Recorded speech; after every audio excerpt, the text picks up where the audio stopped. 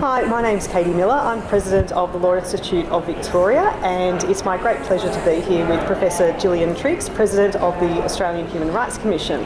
Uh, and we're just about to hear from Professor Triggs as part of our President's Lunch seminar series. Uh, but before we do that, I did have a couple of quick questions for Professor Triggs. Um, Professor, do you mind if I just kick off? Uh, I'd be delighted to have you ask me some questions. Okay, excellent. Thank you. Um, and obviously, when you're President of the Australian Human Rights Commission, which is an independent statutory authority, um, how important do you think it is to have an independent body to hold the government to account on human rights issues? Well, I think it's, it's critically important.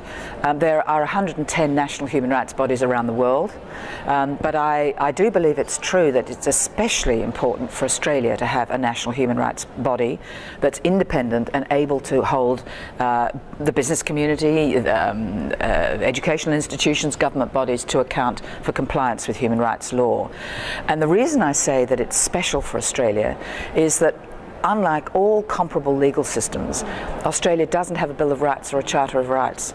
And most of the international human rights law that as part of my mandate under our statute is not part of Australian law. Mm. So that we're a little bit like ships passing in the night. When I say something breaches international law, a minister might say, well, uh, that's very interesting, but that treaty is not part of Australian law. So while in other countries you've got courts able to apply bills of rights, you've got legislation that gives effect to international treaties, uh, you've got regional courts like the European Court of Human Rights or the Inter-American Court of Human Rights. In Australia and in our Asian region, we have nothing of that kind. Mm. So that is why I say that it is especially important that uh, the Australian Human Rights Commission be respected as an independent body and properly financed to be able to play that role. Mm -hmm. Excellent. Okay. And finally, what do you think lawyers can do to better promote um, and protect human rights practice in Australia?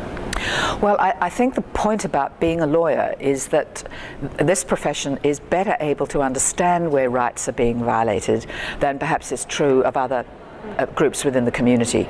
Uh, we don't have very good education in Australia about our constitution or about fundamental rights, and I think that's a real problem. Um, and if we were better educated, you wouldn't need the lawyers to tell you that there's a problem.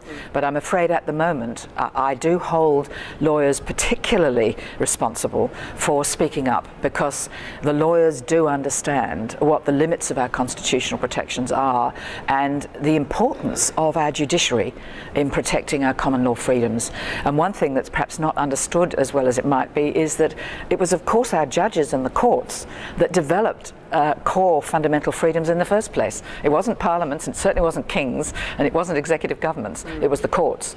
And unfortunately, in Australia, we have an, a very uh, curious environment in which it seems to be um, quite common to criticise uh, our judges um, and I think that's a very, very unfortunate phenomenon in Australian democracy. But it, it brings me back to, to, answering your question, and that is I, I, I think it's more important than ever that our lawyers have an, a watching brief, an active watching brief on all the legislation that's passing through Parliament, where we have both sides of, uh, of, of, um, uh, of, Parliament, major parties, agreeing to quite serious breaches of common law freedoms mm. that our courts have hitherto been able to uphold, but are now uh, being squeezed out of uh, making judgments about whether or not our common law rights are being protected.